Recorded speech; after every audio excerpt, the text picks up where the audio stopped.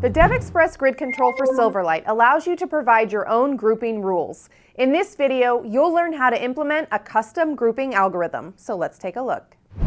I'll start with a Silverlight application that has a DX grid control bound to the products table of the Northwind sample database.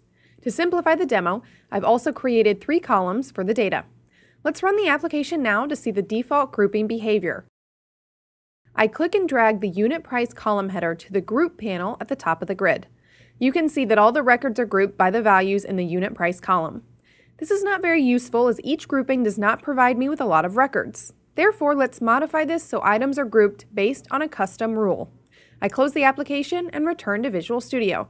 For this demo, I'm going to implement a custom grouping algorithm so that I can group the unit price column to see it in $10 increments. I select the grid control and run the columns collection editor. I select the column corresponding to the unit price field of my data source.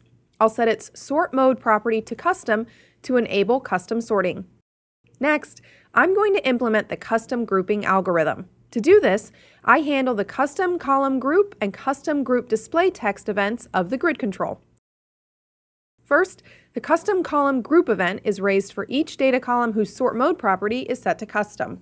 I switch to code view. Within the event handler, I first check to see that the column is not empty and that the unit price column is being referenced. So if the process column is the unit price column, then I'll compare two adjacent rows. If the rows should be combined into the same group, the result is set to zero. Otherwise, it's set to one or minus 1. Note that the handled property must be set to true to indicate that no default processing is required. Now we'll need to replace the default text displayed within the group rows.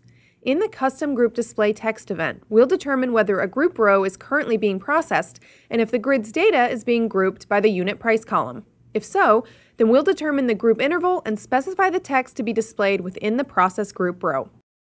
And I'm done. I run the application again to see the results. I drag the unit price column to the group panel, and the rows are grouped and labeled by values ranging in $10 increments.